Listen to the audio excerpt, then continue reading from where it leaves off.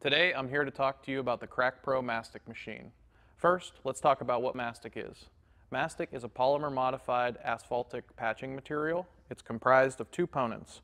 One is the select aggregate that is washed and dried at the factory so that your ratios on the patch are correct, and the other is the polymer modified asphalt binder that holds it all together. Mastic can be used to repair cracks, transverse and longitudinal, that are larger than an inch and a half wide. They can be used anywhere that concrete meets asphalt. The concrete joints themselves that have spalled apart, it can be used in alligatored areas on pavement or concrete that have broken apart on the corners, and it can also be used around manhole covers and random potholes on your roads and streets. The mastic material was brought over to the United States in the late 1980s from Europe. It was originally used as a asphaltic plug joint repair material on bridges. Uh, as they were using it out there, they realized that if you use a slightly smaller aggregate, it will be able to be used in potholes and spalled concrete corners on the bridges, so it'll remain flexible as the bridge moves. In the last five to 10 years, it's been increasing in popularity in both the private and commercial markets, and now a lot of state entities and municipalities are using it as well on all of your city roads and streets. The Crack Pro Mastic machine is a 300 gallon capacity, and it's designed to be one of the most efficient machines in the entire market. Our target market for this machine is municipalities, private contractors that may be doing large projects, or even down to parking lot repairs and bridge repairs before they seal coat any sort of asphalt pavement. Now let's talk about some of the key features of the Crack Pro Mastic machine. Starting at the front of the machine, we have an adjustable pintle hitch, tow chains that are standard, a standard 7-pin trailer plug-in, and then you have your electric brake box for emergency braking, a fire extinguisher, and a propane holder. One thing to remember is to make sure that your fire extinguisher is within the date range that's specified on the extinguisher itself. Along with checking the fire extinguisher, you're going to want to test the breakaway box by depressing the button, and if it's a solid green light, it's fully charged. The Crack Pro Mastic machine has a 14.5 horsepower Kubota diesel engine. We have a superior advantage over our competition due to our fixed throttle on this machine. Every other competitor's machine has an adjustable throttle so that you can adjust it and give the agitation system more power to agitate. With our fixed throttle system, you can get up to 30 hours of work time. We have a redesigned hydraulic system with a cooling fan so that the hydraulics continue to run smoothly and efficiently.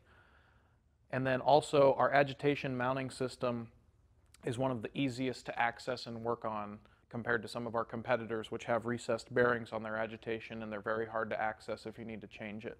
Standard grease gun and owner's manual is located mounted to the front of the machine and then we have an optional parts canister if you would like to have spare parts included with the machine. Below the agitation system on the machine is a drip tray of where the material is going to slowly leak out of the packing gland on the agitator and your Beckett burner is protected under a shield so that drippings of the material does not damage your burner in operation. The Crack Pro Mastic machine is an oil jacketed unit. One of our unique features is the loading height of the door. We keep it right at 60 inches so that you can load material on top. It's also got built-in supports underneath so that it doesn't hurt the hinges of the loading door as you're placing material on top. And another keynote feature is our safety switch so that when you open the door, material is not able to be splashed out. This actually deactivates the agitator so that no one gets hurt while loading material. Located to the left side of the loading hatch is a pail warmer that you can insert a metal pail into that'll be used for touch-up work and also cleaning out your gate on the back of the machine. It recycles the material back in so that there's no material waste. At the rear of the machine we have our Crack Pro control box. It's weather tight You'll notice inside at the top we have operating procedures and also a QR code that is going to take you to the Sealmaster manual on this unit. Down below we've got multitude of switches here, your main power switch, burner enable letting you know that the burner is firing, burner fail if there's been an issue with the burner going out, um, a high temperature reset if one of the material or oil gauges gets more than 25 degrees out of where its set point is, an interlock light that lets you know if the material gauge and oil temperature gauge is up to temperature that your agitator will begin to agitate. And then we have a tool heater box timer button that is set at five minutes for the tool heater to automatically shut off. On the next row, you've got your agitator, both a mix and application position. This refers to our plow point agitation design. When it's in the mix position, there are spear points in there tearing apart the material and helping it heat up faster. When you switch over to the application position, it's actually going to force that material out the back through our six inch gate valve. There is a second option for the toolbox heat that permanently leaves it on. And then we've got switches for our optional arrow board, strobe light is standard, and then we have our night work lights that are also standard on each unit. At the top of the control box, we've got a transfer oil digital gauge and a material temperature gauge. Standard on every Crack Pro machine are two overnight heaters. These heaters can be used either for pre-melting the material the night before that you're going to perform work, or if you're done for the day, you can actually keep them plugged in when you get back to your shop or job site. That'll help keep the heat in the machine overnight and it'll cut off about an hour of heat up time the next morning when you're getting ready to work. We prefer that each of these units have a 30 amp dedicated breaker on each plug if at all possible. Below the control panel on the rear of the machine, we've got a number of features. Um, the first is that we have our 600 degree rated rear bearing that holds the agitator shaft. This is one that we mentioned earlier that does require five pumps of grease daily, and there's a sticker to let you know if you forget about it. The six inch knife gate valve is actually unique to our Crack Pro machine. It's got a heated shroud with a hole from the heat box that's also heating your material. What that does is it softens the material and what we refer to as the soft plug. It'll actually make it easier to dispense before you're going to start your repair work for the day. On the rear of the machine, the air jacketed heated chute is a unique feature to only the Crack Pro Mastic machine. It's heated through the Beckett burner that's melting your material. The blower is wired to constantly stay on and blow hot air into the air jacket of the chute so that you have consistent heat and good material flow without building up onto the chute. This chute with the air jacket is unique because it doesn't have to have a propane fuel source to put your workers in danger or have a heat transfer oil leak if you were to use one of our competitors' machines. One of the great features also to help with chute operation on our machine is we actually have a height adjustment chain that can lock the chute into place on a perfect angle to let material flow off. As well as when you're pulling the chute out, you can use our side-to-side -side locking in chain to make sure that if you're doing any longitudinal drag box applications, it'll lock the chute in place and you won't get any sway while driving down the road. The only propane fired tool on the unit is the touch-up torch. It can be used for cleaning off your tools, drying moisture out of a repaired area before you apply the material, or feathering an edge to make the repair look better. On the left side of the Crack Pro Mastic machine, you've got your hydraulic and diesel fuel tanks. Both are 30 gallon capacity for up to 30 hours of runtime. In front of those is the tool rack that you can hold all of your hot irons in depending on what the repairs you're doing and what you'll be needing out of the machine. Some of the tools that are associated with the mastic material include a flat iron that can be used for smoothing out high spots in the material or spreading the material around on an alligator area. You also have the hand drag box, which is great for smoothing material out in a wide overband situation, using it to fix manhole covers, or spreading it across alligatored pavement. This is a dual purpose tool. One side has flat stock on it to help clean out your soft plug of material on the rear of the machine. And then we have the custom shaped chute clean out tool on the other end to make sure you don't have any material buildup in your chute. Finally, if you'd like a slight less bit of overband on a wide crack, you can use the metal V squeegee to spread the mastic across and into the crack so that you have a narrower band.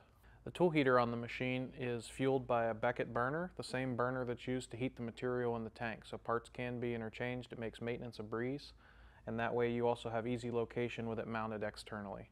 The diesel-fired Crack Pro tool heater box is large enough to accommodate four tools individually stored and located on the rear of the machine.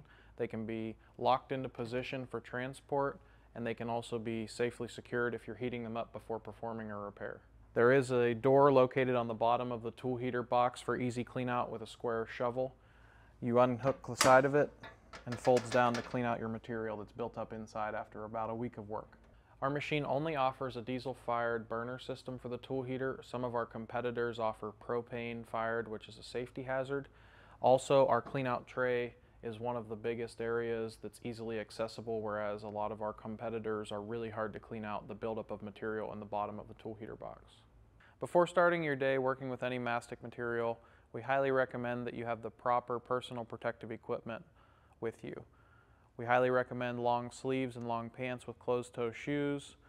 High temperature or welding gloves will be suitable for handling the irons. Safety glasses or a face shield if preferred, and if you're in any constructive zone that's active, you're going to want to have a safety vest and hard hat on. Before performing your daily checkups and routine maintenance, make sure that you give the machine a once over looking for any leaks or failed parts that you may find before starting the machine. One daily check before heading to the job site is to make sure that your tires are properly inflated and all of your lug nuts are properly tightened. Also, something important to remember is there are two to 6,000 pound axles on this, and it's recommended to repack the bearings every two years. One thing to mention that's worth checking weekly is your heat transfer oil level. Up here located above the heat transfer oil expansion tank is your dipstick for the level of your heat transfer oil. You unscrew this T-handle and it'll tell you the approximate level of how much heat transfer oil is in your machine. Located behind the Crack Pro control box is an analog oil temperature gauge. Not only is this a good backup in case you have any malfunction with your digital gauges, but this is also the place after your weekly heat transfer oil check that you must remove this gauge in order to fill heat transfer oil into the machine. One thing to remember is sometimes when you're out on the road, the crew will run the machine out of diesel fuel. If this happens, there is a bleeder valve located on the fuel pumps of both your Beckett burners. Go to the rear of the machine, turn the machine on, and as the burner is trying to ignite, come back and crack the bleeder valves located on the fuel pumps of the Beckett burners. Drain the diesel fuel out until you don't see any air bubbles and it's a solid stream of diesel. At this point, go back, cycle the machine again, and your Beckett burner should light. Some of the daily maintenance on the machine that you're going to want to remember before starting the engine is to grease your agitation shaft with the included grease gun on the machine. There's also a fitting on the rear of the agitator that needs to be greased daily. The bearing that the shaft is going through only needs to be greased every 600 hours. And also check all of your fluid levels of your engine oil, your hydraulic fluid, and your diesel to make sure it's going to operate properly. After you do your daily maintenance checks on all of your fluids and greasing the agitator shaft, you're ready to start the engine. Insert the key and leave it in the run position until the glow plug light goes out and then you're able to start it. After the engine's running on the Crack Pro machine, make sure to take a glance over at your hydraulic filter gauge. If it's in the yellow area, it's starting to accumulate particulates, and if it goes into the red area, it does need replaced. After starting the engine on the front of your machine, to continue the operation process, you come to your Crack Pro control box, switch the main power on, and your transfer oil and material gauges are going to start up. Once they start up, depending on the set temperature, you're going to see your burner enable, which is going to light the flame and start heating the material.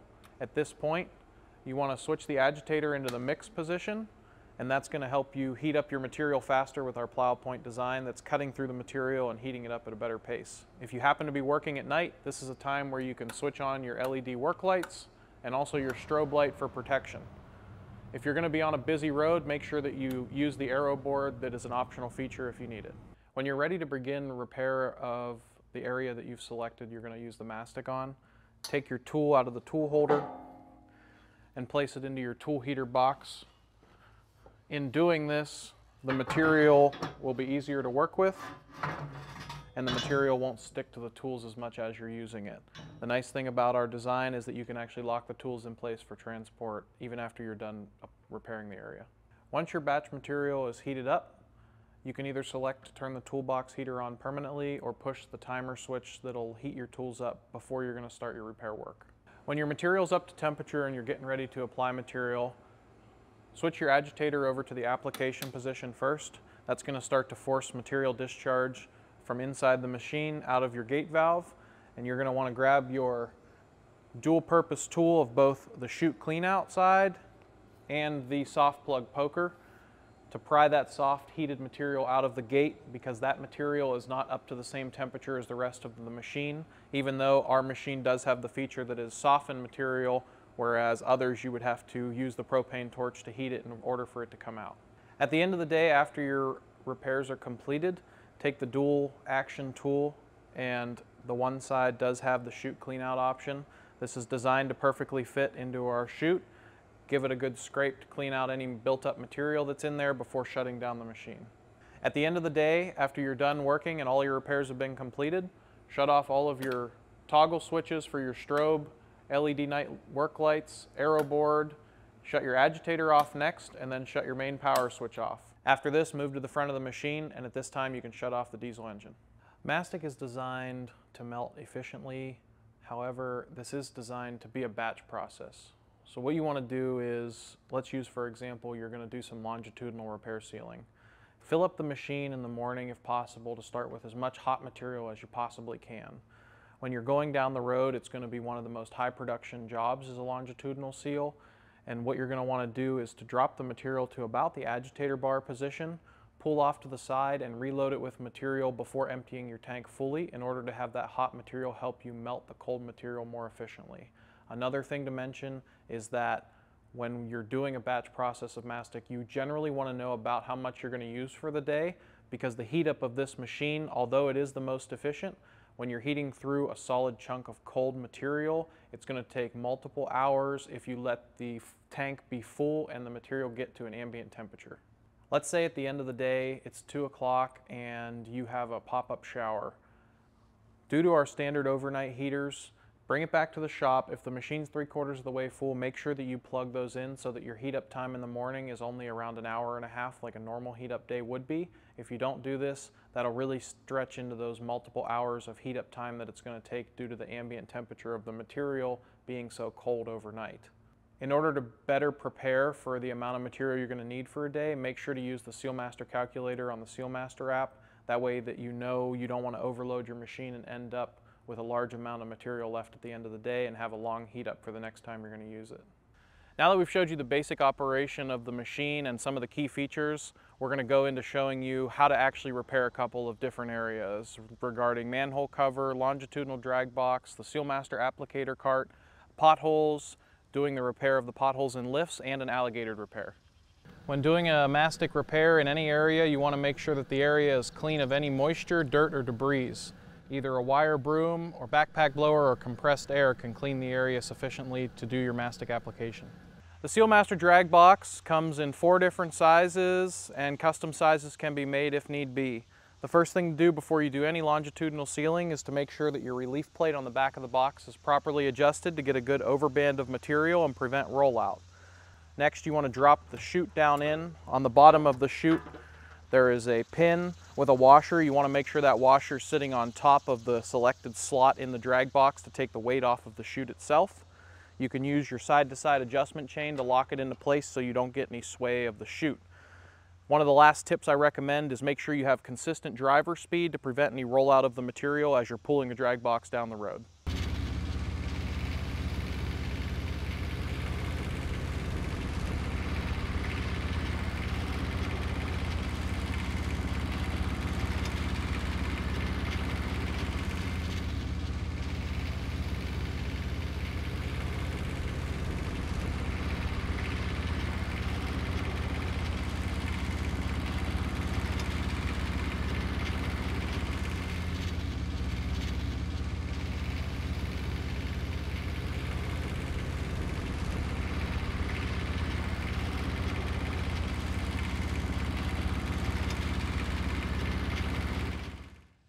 You want to apply mastic material with the Sealmaster applicator cart, or you'd like to just drop material directly into your repaired area, you can do this by removing the chute. First thing you want to do is remove the pin at the trailer hitch mount location.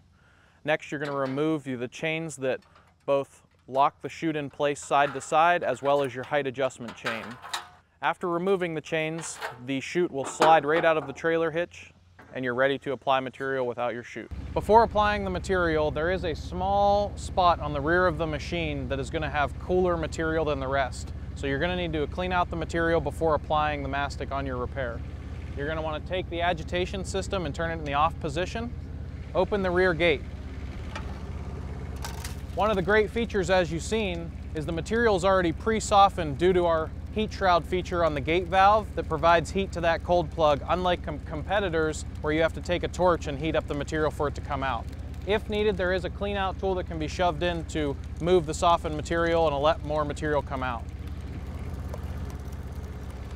After it's flowing smoothly, close your gate valve and you can put the bucket in our pail warmer to recirculate the material and not waste any.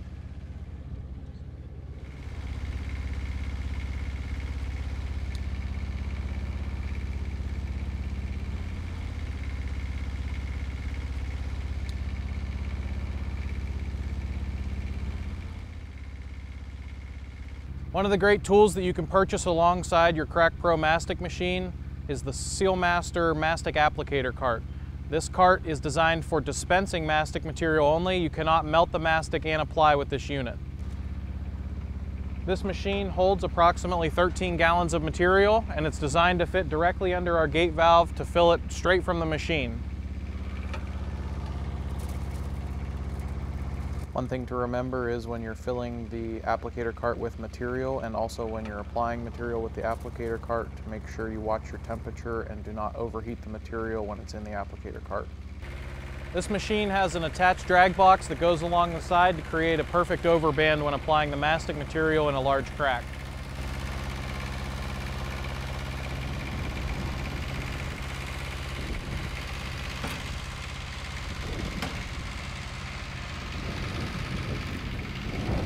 Each unit has a clean out tool included on it so that you can scrape the inside material left with no buildup.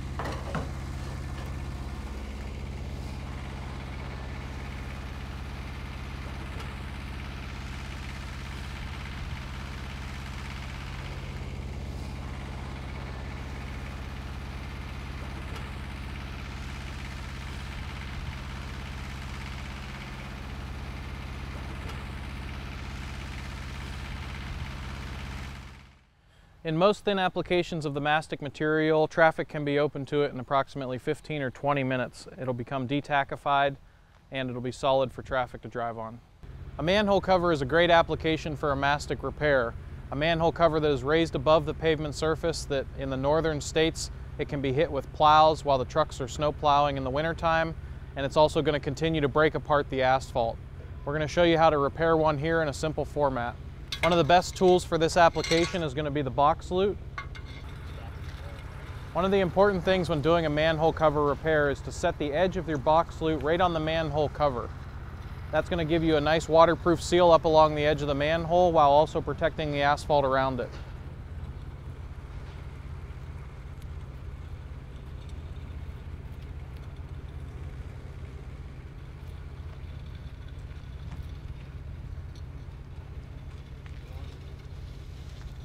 After you complete the seal one time around, you can continue to work the material that's excess and continuing in the same pattern, or try and go back to where you were just coming from to fill in the voids.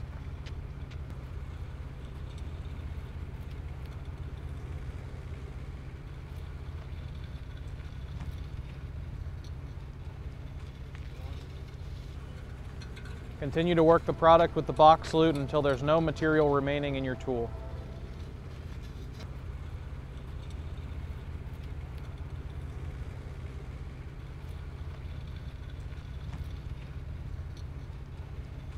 When doing a mastic repair in any area, you want to make sure that the area is clean of any moisture, dirt, or debris. Either a wire broom or backpack blower or compressed air can clean the area sufficiently to do your mastic application.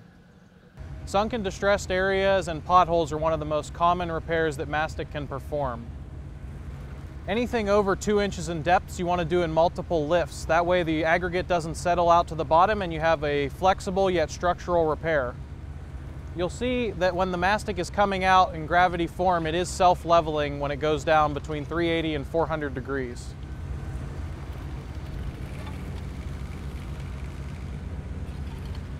We're first going to apply a lift of mastic material, let it cool for between 20 to 25 minutes, and then we're going to apply a second lift of the material to level out the patch perfectly.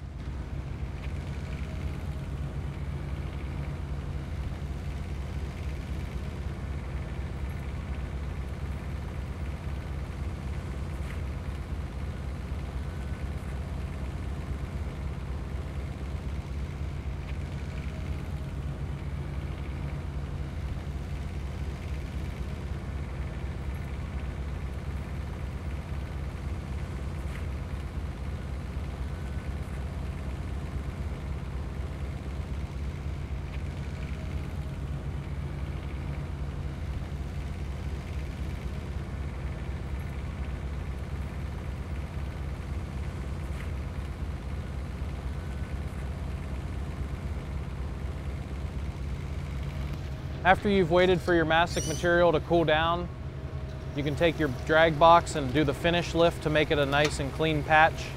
We're going to go over the whole entire edge to make it sealed to strong pavement.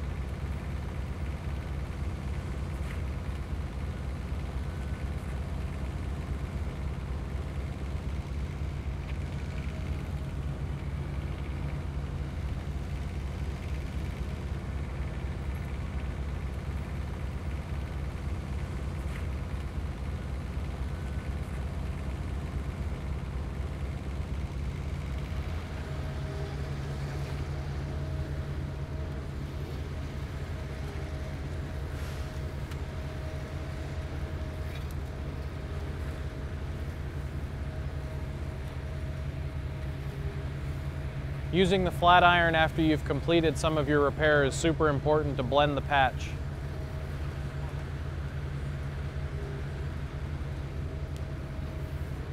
Make sure to work the material as quickly as possible so that it doesn't cool down and become hard for you to maneuver.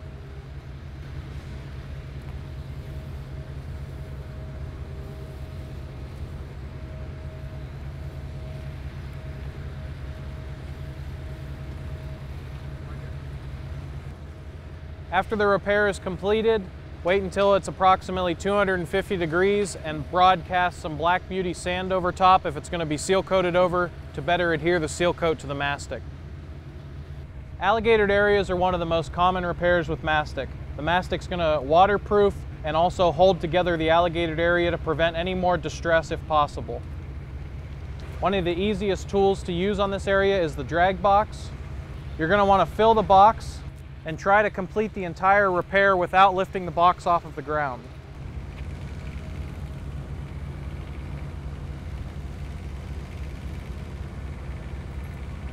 Now if you have to reposition with the box, you're going to want to overlap on top of the old material you just laid down to prevent any high spots.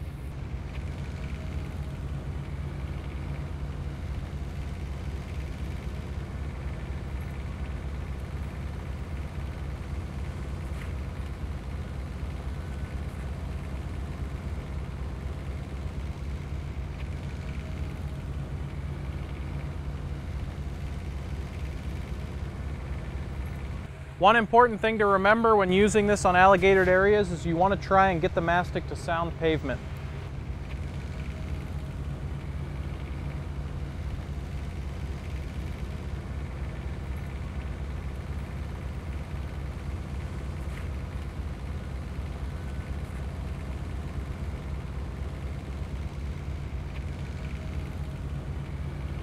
After you're done with the drag box, use your flat iron to level out any high spots and make a uniform finish.